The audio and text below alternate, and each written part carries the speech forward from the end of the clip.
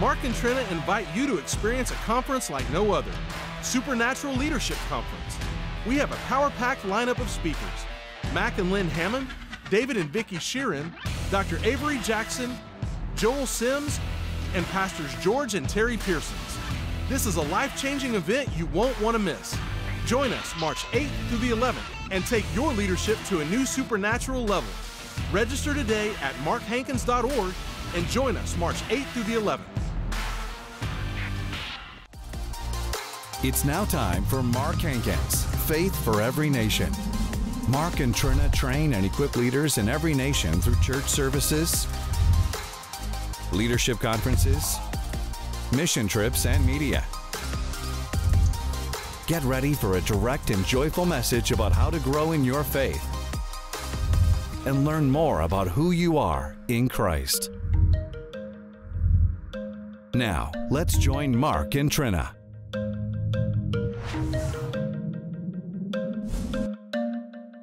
Hebrews 13, 20, and 21 is a, is um, there's a phrase in there that has just been uh, going over and over and over and over and over and over. And so we want to look at this in Hebrews 13, 20, and 21. It says, Now the God of peace that brought again from the dead our Lord Jesus, that great shepherd of the sheep, through the blood of the everlasting covenant that's what I want you to underline right there. Through the blood of the everlasting covenant. Look at verse 21. That he makes you perfect. Wow, that sounds pretty good, don't it? Makes you perfect in every good work to do his will. And he's working in you that which is well pleasing in his sight through Jesus Christ, to whom be glory forever and ever. Amen. Through the blood of the everlasting covenant, he makes you perfect. I believe he gets you in the right place at the right time with the right people. Amen. He makes you perfect, not just the permissive will of God, but the perfect will of God for your life. Amen. And then he says, and he works in you that which is well pleasing in his sight. I think it's the Amplified Bible says that he equips you with everything you need to do his will. All right, let's try that again. He equips you with everything you need to do his will. Let's try that again. Come on, quit acting like you don't have it and you can't get it. Come on, make a bold confession that He equips me with everything I need to do His will. Now, laugh at the devil for a minute. Say, ha, ha, ha. So somebody say, How did you get there? You say, Well, God raised Jesus from the dead, and through the blood of the everlasting covenant, God is working in me that which is well pleasing.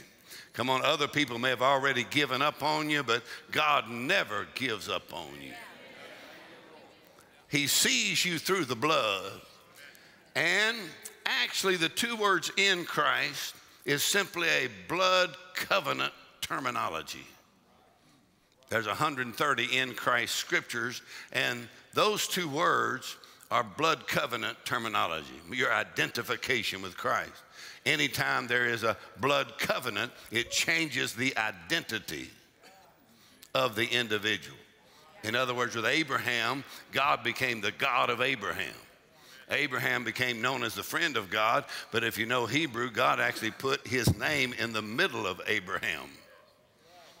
So every time you meet Abraham, he goes, I'm, I'm not just me, it's me and God. Amen. Through the blood of the everlasting covenant. And so, um, a good friend of mine said something at one of our conferences, you know, and his name is Pastor Mac Hammond. Now, I like Mac Hammond. He, he has actually the same initials for his ministry as I do. And so I tell him to send the money on over. But his is MHM Mac Hammond Ministries, and I'm Mark Hankins Ministry. So he's speaking at one of our leadership conferences, and Mac, Mac said this. He's going through a particular challenge. And the Lord asked him this question. The Lord said, Aren't you even going to act like you got a covenant with God? All right, let's try this side over. He said, I just want to know when you're going to act like you got a covenant with God. Let's try that one more time. I said, I just like to know when you're going to act like you got a covenant with God. Amen. Sometimes the simplest definition of faith is simply to act like you got a covenant with God. Amen. I'm going to act like God is on my side. So the Lord gave Trina those, those, we call it fighting words many years ago when we were going through a challenge that God is on my side, for the blood has been applied. Every need shall be supplied and nothing shall be denied. So I enter into rest, and I know I am blessed. I have passed the test, and I will get God's best. Hallelujah. When are you going to act like you got a covenant with God? And so the confession of our faith would include the confession of our blood covenant, our covenant with God through the blood of Jesus. And so that's a part of our faith is declaring what the blood of Jesus has done for us, what it does in us. And you know, faith always comes before feelings. In other words, no matter how you feel or no matter how things look, actually, when David ran at Goliath, he was just talking about the covenant, the blood covenant. That's how he knew he was going to win. Amen. So, the blood covenant, to understand the covenant that you have with God, and so I started studying on the blood of Jesus a lot more. Even though I grew up in church, my dad's pastor, went to Sunday school, heard many sermons on the blood, and actually was in an airport years ago. And, and Trina picked out a book on the blood uh, by uh, Andrew Murray. So she had the audacity to tell me that I needed that book. I said, Are you talking to me? I didn't really say that, but it did go through my mind. that she said, We need to get this book. I said, I said, I tell you what, you get the book, underline the best parts, and then read it to me. so she got the book first. You know, Dad Hagin said many men would never make it if they didn't have a good wife. Look around, there's many evidences here today. Many of us would never make it if we didn't have a good wife. And so Trina got the book, you know, and she went through the book and started reading. But I was thinking, I'm raised in church, I know about the blood. You can't tell me nothing about the blood. But it's amazing what you can learn if you would uh, re examine some things. Amen? Just some real simple things, you know. Um, like Vince Lombardi when his team had lost every game, I think, one year. And the next year he got his players together and he said, he, got a football and he said, Now, this is a football. In other words, he said, We're going to return to the fundamentals just to make sure you know uh, this is a football now, guys. And so, a lot of times, studying the fundamentals will produce fresh revelation. So I went back and just started studying it and learned a lot from Andrew Murray's book on uh, the precious blood of Jesus or the power of the blood of Christ, I think it is. And I have my favorite quotes in the book, The Bloodline of a Champion. Uh, but learned so much studying on the blood, but yet when I grew up, my mom and dad, they preached on the blood. We sing about the blood. And then my mama would do what I call slinging blood everywhere. You know what I mean? She was always, I plead the blood, I plead the blood, I plead the blood. I plead the blood. It had many purposes and many usages. In other words, if a fear or something came to her mind, I plead the blood of Jesus. If we're going on a trip, I plead the blood of Jesus. Matter of fact, I'm probably standing here today because my mama kept slinging blood everywhere. My daddy said, We know you didn't get here by being careful. it's the blood, amen. And then I heard Dad Hagin say something about it. He said around the Baptists, and he came over among the Pentecostals or spirit filled people. And he said he got over there and he heard them saying something like this. They would say, In the name of Jesus, I plead the blood. So he said, I didn't really understand everything they're talking about. He says, But I started doing it anyway. In the name of Jesus, I plead the blood. He said, It worked so well for me. He said, I'll still do it today. In the name of Jesus, I plead the blood. Amen. And so when you plead the blood, well, that's an Old Testament terminology, but it's synonymous with the New Testament phrase, faith in the blood. Means the same thing. Plead is simply a legal term. How do you plead? What you're saying is, I rest my case. Let's see if some of y'all could rest your case. In other words, I rest my case on the blood of Jesus. I rest my case on the blood of Jesus. Let's try it again. I rest my case on the blood of Jesus. Then Andrew Murray said it this way to enjoy this blessing, nothing is necessary except faith in the blood of Jesus. He said, His blood alone has done everything. All right, let's try it again. To enjoy this blessing, amen, I call it blood blessed. To enjoy this blessing, nothing is necessary except faith in the blood of Jesus. His blood alone has done everything. I like to say it this way His blood plus nothing, minus nothing. I rest my case.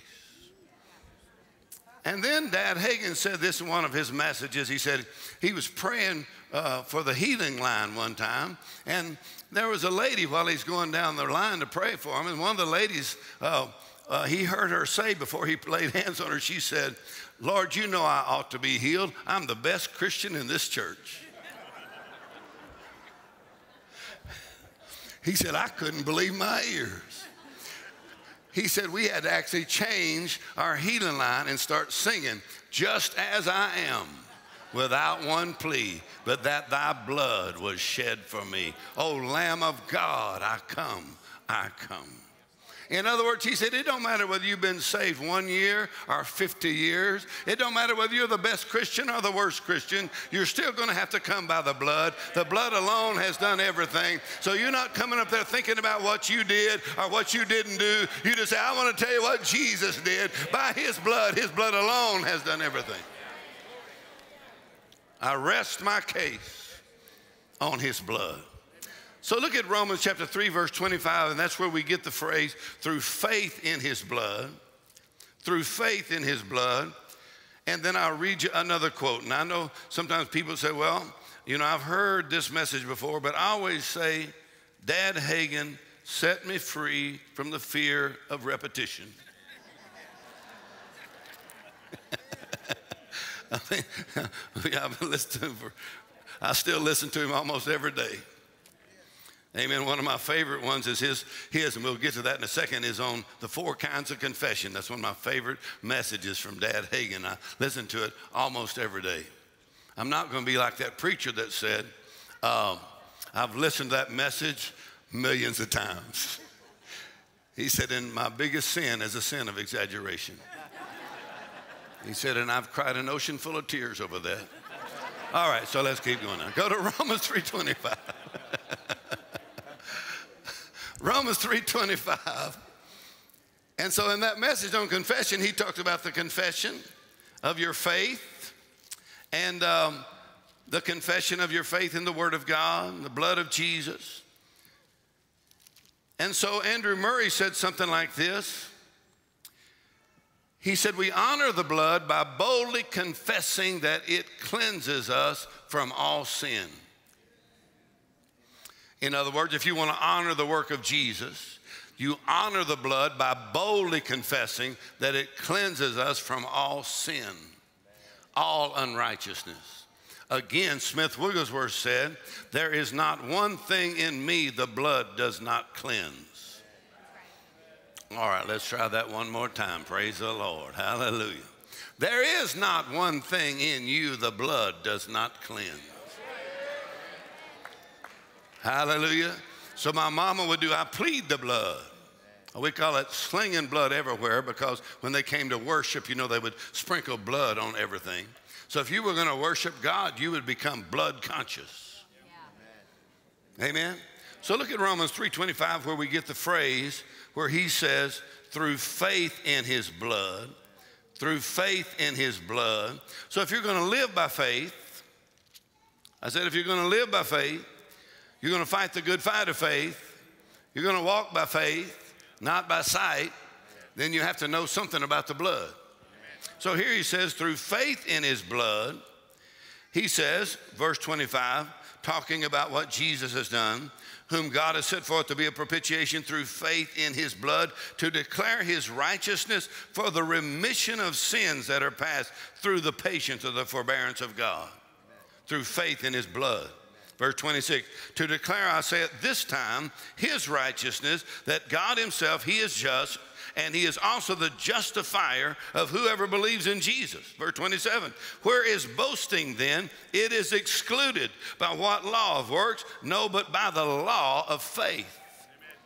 So here he says faith is a spiritual law that accesses the kingdom of God. It's a spiritual law. He calls it a law of faith, works the same all the time, works the same everywhere. When you know the main ingredients in it, let me read Andrew Murray's quote real quickly here. And here's what Andrew Murray said. Very excellent quote, can't do no better than this, so I'll just read it to you. He says, faith is largely dependent on knowledge. Now, how many of y'all know that, right? Because faith comes by what? Hearing, and hearing by the Word of God. I like to throw in one more word faith comes by hearing and by remembering the word you heard. That's why hearing and hearing, faith comes by hearing and hearing the word, amen. And so Andrew Murray said, faith is largely dependent upon what? Knowledge. That's why every advance in faith will come from a breakthrough in revelation knowledge. Praise the Lord. Come on, when the, I like to say this information will change a nation. In other words, the devil is so scared of this information that any nation that tries to control people will try to keep this information out of their hands. Because the moment this revelation or information gets in the hands of people, it brings freedom, it brings deliverance, it brings healing, it brings victory. Matter of fact, your picture goes up at the post office in hell the moment you know what the blood of Jesus has done.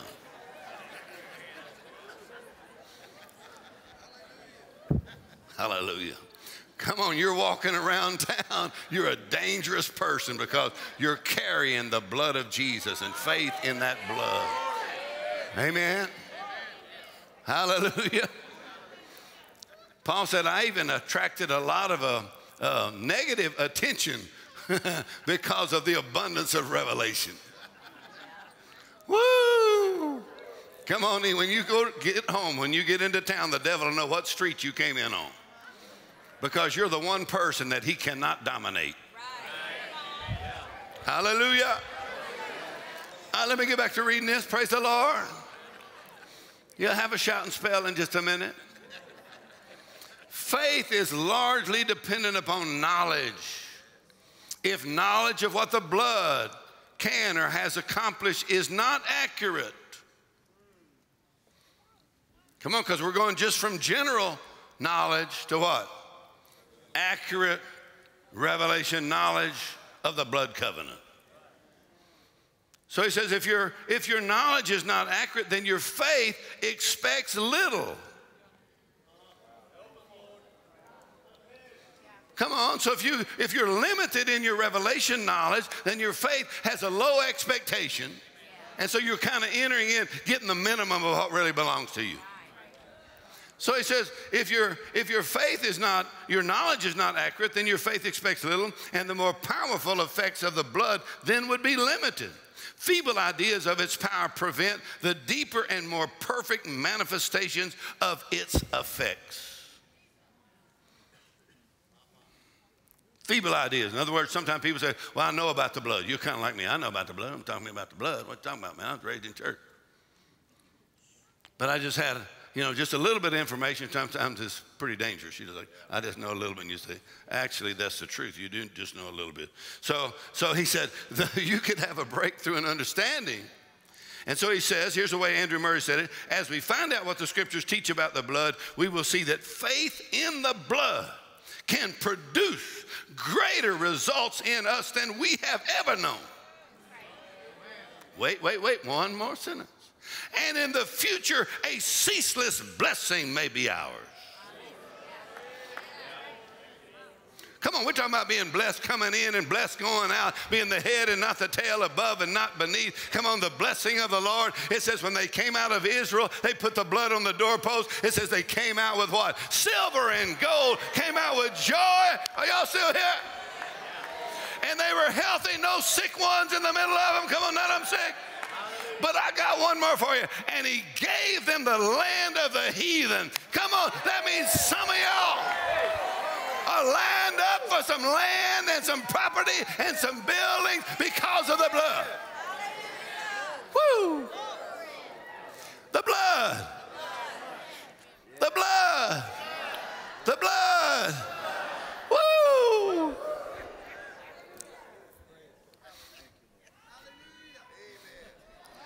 All right, let's go one more time. As we find out what the scriptures teach about the blood we will see that faith in the blood can produce greater results in us.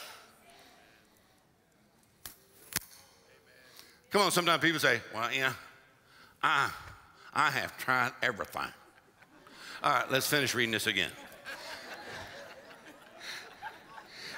I think it was Daryl that said this the other night. I thought it was so good, and I'd forgotten. But, but Dad Hagin said he went over those healing scriptures and he said, I could quote them all, but I went ahead and stopped and looked at them and read them. Are y'all serious? Sometimes you need to stop and look at it and read it again, amen, even though you can quote some of it. Amen. So as we find out what the scriptures teach about the blood, we see faith in the blood can produce greater results in us. Listen now, not just for us, but also in us. Thank God for the blood of Jesus. And in the future, a ceaseless blessing may be ours. I'm redeemed by the blood, washed in the blood. Amen. We honor the blood by what? Boldly confessing that it cleanses us. Hallelujah.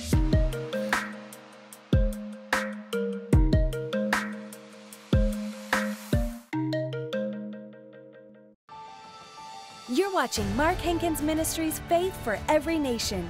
Do you want to live an overcoming life? Do you want to have more confidence in your prayer life? The blood of Jesus causes us to overcome in every situation, and it gives us great boldness to come to the Father. In the new 4 CD series, The Blood Covenant, Pastor Mark Hankins teaches how we have a better covenant based on better promises. Our covenant is secured by the precious blood of Jesus. At the cross, God made a covenant with every believer. We no longer have to stand at a distance from God, but can come boldly into His presence by the blood of Jesus. Along with this new CD set, you'll get the book, The Bloodline of a Champion. Mark Hankins explains the power of the blood of Jesus.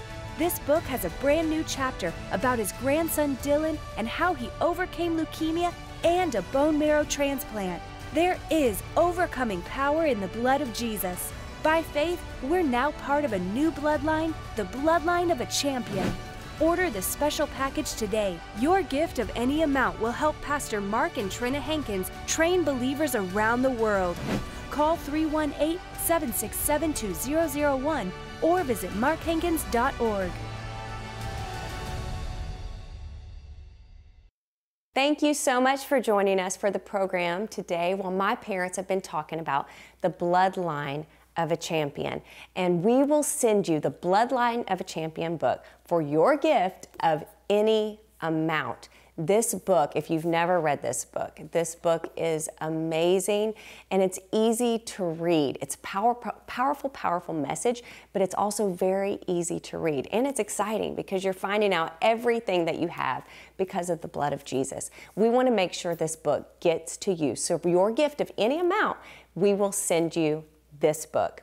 Because of your partnership with Mark Hankins Ministries, my parents are able to continue going and preaching and teaching all over the world. It is their honor, it is their dream, it is their, their life's goal to continue to preach and teach all over the world. So, because of your partnership, you help to send them from place to place to place, and it is such a blessing to them and to this ministry.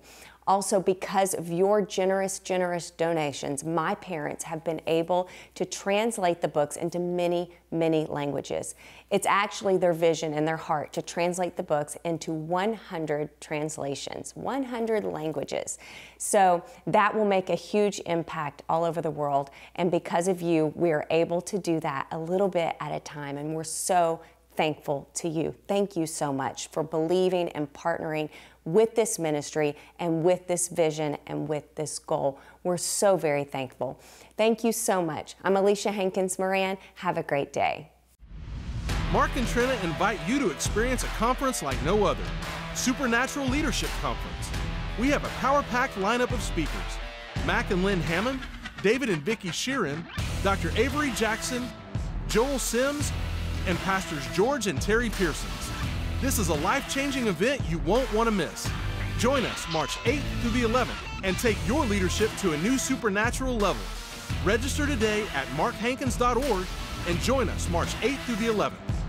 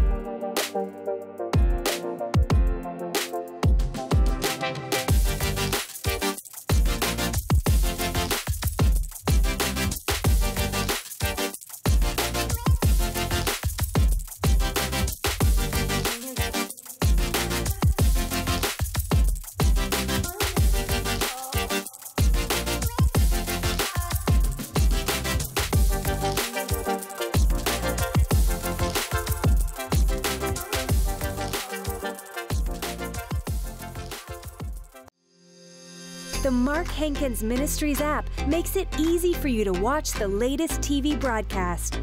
Listen to unlimited full sermons by Mark and Trina.